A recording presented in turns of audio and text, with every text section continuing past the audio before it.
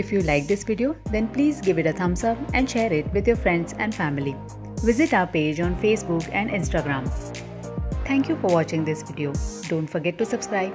See you in the next video. Till then, take care. Bye bye.